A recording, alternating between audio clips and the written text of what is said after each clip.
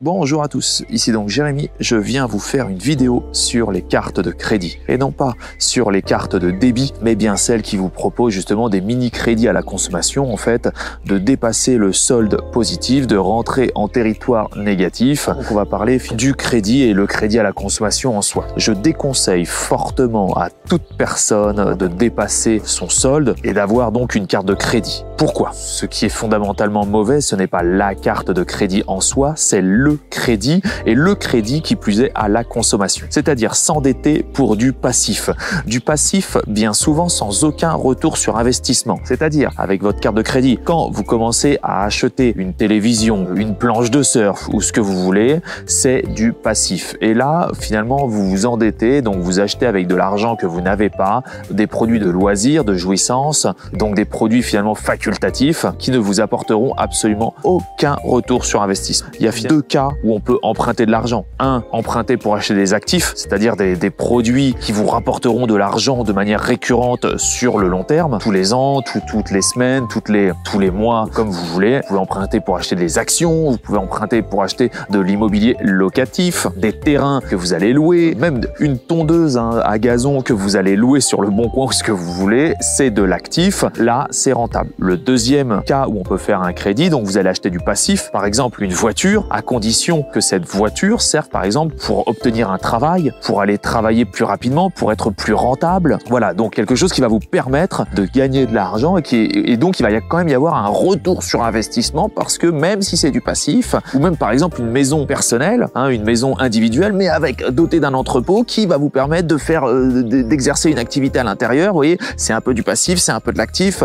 c'est un peu mélangé, mais finalement quelque chose qui va améliorer finalement votre rendement dans la vie, hein, qui va améliorer vos finances, souvent c'est en termes d'emploi et de, gains numéraires. Voilà, ou même un vélo, emprunté pour acheter un vélo pour se déplacer plus vite et pour aller au travail et gagner du temps. Voilà, vous allez gagner du temps hein, parce que on ne parle pas que d'argent, évidemment, quelque chose qui va vous faire gagner énormément de temps de vie. Il est peut-être utile d'emprunter parce que sur le long terme, vous allez le rentabiliser, que ça soit en termes numéraires ou en termes de temps. Hein, le temps, c'est de l'argent, c'est bien. La chose que vous avez de plus précieux, c'est le temps. Donc quelque chose qui vous fait gagner énormément de temps, à condition que ce temps gagné soit ensuite réutilisé de manière rentable et non pas en termes de, n'importe quoi. Seulement, ce que vous proposent les banques à l'heure actuelle, avec les cartes de crédit, ce sont surtout des, achats euh, d'impulsion, c'est-à-dire vous n'avez pas l'argent et vous allez acheter une télé. En plus, une télé qui, est vraiment l'inverse du retour sur investissement, à savoir une télé, quelque chose qui va vous faire perdre du temps et dont vous allez rester en face et absolument ne rien faire. Donc là, c'est carrément c'est quelque chose qui détruit votre temps de vie, qui détruit votre rentabilité. Voilà. Et vous allez emprunter donc de l'argent que vous n'avez pas et pour être encore moins rentable et avoir encore moins de chances peut-être de rembourser. Ne dépensez pas de l'argent que vous n'avez pas et surtout pas pour des loisirs. Vous n'avez pas d'argent euh, pour sortir, pour acheter une télé, euh,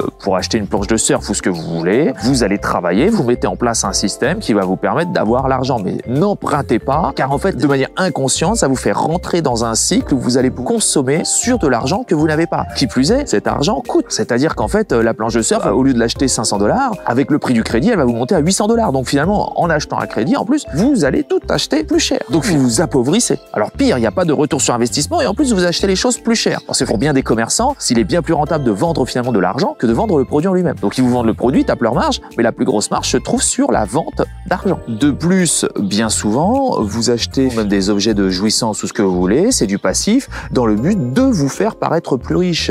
Mais ne vivez pas dans le paraître, soit vous l'êtes, soit vous l'êtes pas, et si vous voulez le devenir, ce n'est pas en paraissant riche que vous allez le devenir, c'est en travaillant, en montant des systèmes professionnels, en faisant des trucs qui vont vous rendre riche. Mais surtout, ne vous endettez pas parce que finalement, l'endettement avec une carte de crédit, par exemple, avec une limite à 50 000, enfin après tout dépend de vos revenus, mais avec un crédit à 50 000 ou 100 000 sur votre carte de crédit, évidemment, vous allez euh, ressentir un effet de richesse parce que vous mais après, il faut rembourser et tout vous coûte plus cher. Et les riches ne font pas ça. Euh, comprenez que si vous n'avez déjà acheté du, du superficiel, ça sert pas à grand chose, mais en plus s'endetter pour acheter du superficiel pour paraître riche, cela ne sert absolument rien. Vous devez comprendre qu'en plus les taux sur les cartes de crédit sont extrêmement élevés. Ça va de 3 jusqu'à 9%, ce qui est absolument énorme. La carte de crédit en plus qui est souvent adossée à des achats de consommation n'a pas pour but de vous faire mieux vivre ou quoi que ce soit. Vous allez vous appauvrir et sur le long terme, vous aurez une vie bien plus difficile avec une carte de crédit. Prenez une carte de débit qui ne peut pas rentrer dans le négatif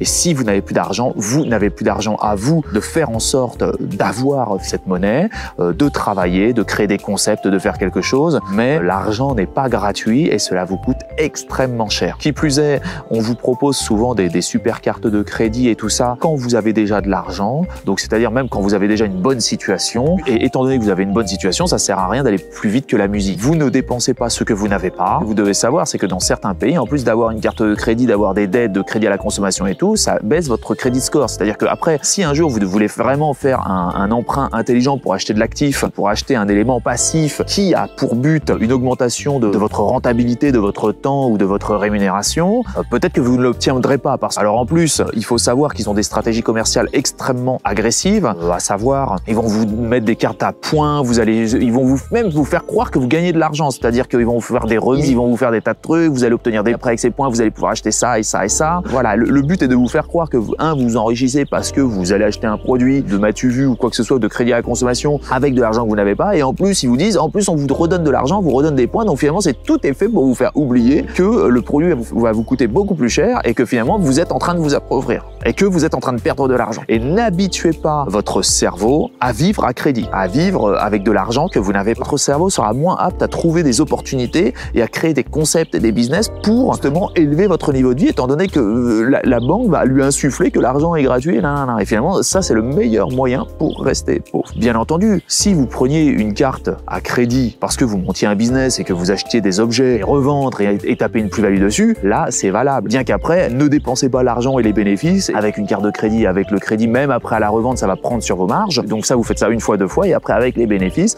vous rachetez les produits en propre avec les bénéfices, et comme ça, il n'y a plus de crédit, et auquel cas, vous augmentez les marges et vous vous enrichissez. Mais dans tous les cas, même dans le business, ne fonctionnez pas à crédit. C'est très dangereux. Mieux vaut vivre chichement deux ans et, que tous les bénéfices servent après à, faire un fonds de roulement dans, la boîte. Et, et sinon, euh, votre société est en très mauvaise santé. Au moindre aléa, au moindre problème avec le business, nanana, au moindre problème de qualité, vous mourrez, vous allez couler. Nous allons maintenant parler du cas le plus dangereux, le cas où vous vous approchez du surendettement, c'est-à-dire vous n'y arrivez pas, vous n'arrivez pas à acheter les affaires d'école de vos enfants, vous avez du mal pour acheter à manger, vous n'avez pas assez d'argent pour prendre votre ticket de métro pour aller au travail, et là vous allez utiliser donc le crédit pour des éléments de première nécessité dont vous avez besoin, mais dont vous n'avez pas l'argent. Alors là, la carte de crédit dans un cas comme ça est absolument ultra dangereuse parce que ça vous fait oublier le problème. Le problème, c'est qu'il y a un problème de finance. Soit vous n'avez pas le bon travail, il ne vous rémunère pas assez, vous dépensez trop, vous avez trop de dépenses d'un côté, et la carte du crédit va repeindre un mur complètement vérolé. Mais la peinture va s'enlever très très rapidement. Évitez à tout prix de faire cette erreur en pensant que demain, alors on a toujours espoir, en pensant que demain ça sera mieux, que demain, demain, demain. Demain, dans un cas comme ça, sera bien souvent toujours pire, et vous devez résoudre le problème de fond, c'est-à-dire analyser vos dépenses, voir comment faire pour gagner plus d'argent, mais en aucun cas utiliser sa carte de crédit pour acheter à manger, pour les affaires d'école de ses enfants et tout ça. En France, contrairement à d'autres pays, ou même au Québec ou ce que vous voulez, vous avez tout un système social qui peut vous aider.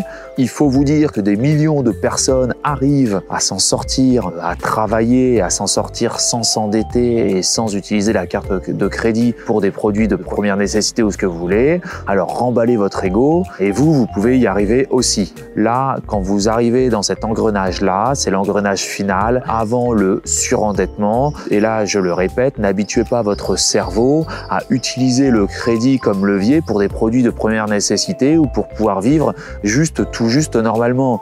Il faut résoudre les problèmes de fond. Soit vous consommez par exemple de la drogue, de l'alcool, des cigarettes et tout ça, ça vous arrêtez ça. Tout un tas de trucs. Il faut vivre plus près par exemple de votre lieu de travail, changer de logement pour un logement plus petit, changer de travail et trouver un travail plus rémunérateur. Il faut trouver des solutions. Mais la pire chose que vous puissiez faire est de faire un crédit à la consommation pour ce genre de choses. Vous ne vous en sortirez pas. D'ailleurs, bien souvent les banques le savent et si vous mentionnez une banque que c'est pour ce genre de, produit que vous voulez une carte de crédit hein, et avoir un crédit à la consommation, tout le monde vous le refusera car tout le monde sait que vous ne pourrez pas rembourser au final. Alors bien souvent vous allez être obligé de mentir qui plus est et c'est encore pire carrément, ça devient une partie intégrante du problème ou un problème qui se rajoute à d'autres problèmes et qui va encore empirer la situation. écoutez, c'est tout pour cette vidéo. Je vous souhaite une excellente journée et je vous dis à bientôt pour de nouvelles vidéos. Salut à tous.